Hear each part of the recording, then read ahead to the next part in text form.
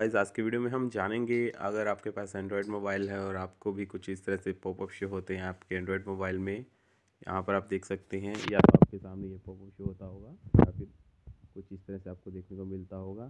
Someone has access to your screen if you did not share your screen with any तो कुछ इस तरह से भी हो सकता है you are sharing your screen with someone अगर आपको कुछ इस तरह से पॉपअप शो हो जाते हैं, आपके एंड्रॉयड मोबाइल में तो कैसे इनको डिसेबल करेंगे, कैसे इनको बंद करेंगे, जिससे आपकी प्रॉब्लम सॉल्व हो जाएगी। इसके लिए आप सिंपल से स्टेप्स को फॉलो कर सकते हैं, जैसे मैं आपको बताऊँगा। वीडियो में एंड तक बने रहेगा वीडियो अच्छी लगे तो लाइक कर देना चैनल को तो चलिए जान लेते हैं कैसे हम जो पॉपअप हैं, इनको हटाएँगे रिमूव करेंगे। देन सबसे पहले जो प्रॉब्लम आती है आपकी मैसेज जो आपकी ऐप होती है, उससे वजह से आती है। तो आपकी मैसेज ऐप जो है, उस पर आपको लॉन्ग प्रेस करना है। लॉन्ग प्रेस करने के बाद आपको यहाँ पर दो ऑप्शन देखने को मिल जाते हैं। सबसे पहले तो आपको देखने को मिलता है ऐप इन्फो अगर आपको यहाँ पर आपके मोबाइल में ऐप इन्फो देखने को नहीं मिल रहा है देन उसके बाद आपको सीधा डायरेक्टली सेटिंग्स में आ जाना है। सेटिंग्स में आने के बाद आपको स्क्रॉल करना है नीचे और यहाँ पर ऐप्स का ऑप्शन देखने को मिल जाता है। इस पर क्लिक करिए। क्लिक करने के बाद यहाँ पर मैन, मैनेज ऐप्स देखने को मिल रहा है सेकंड नंबर पर इस पर क्लिक करिए।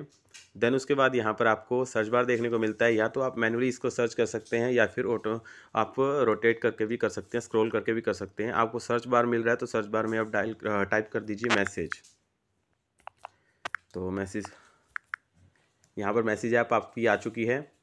इस मैसेज ऐप पर आपको क्लिक करना है।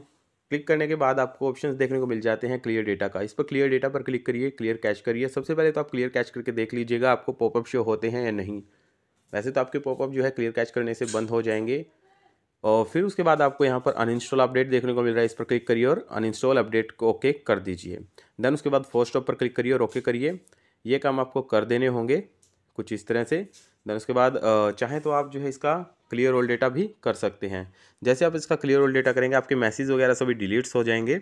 सबसे पहले तो आप जो है ओनली क्लियर कैच करके देखिएगा। देन उसके बाद अगर आपकी प्रॉब्लम फिर भी सॉल्व नहीं होती है, एक बात का आपको ध्यान रखना है, जितनी भी परमिशन होंगी सभी अलाउ होनी चाहिए आपकी।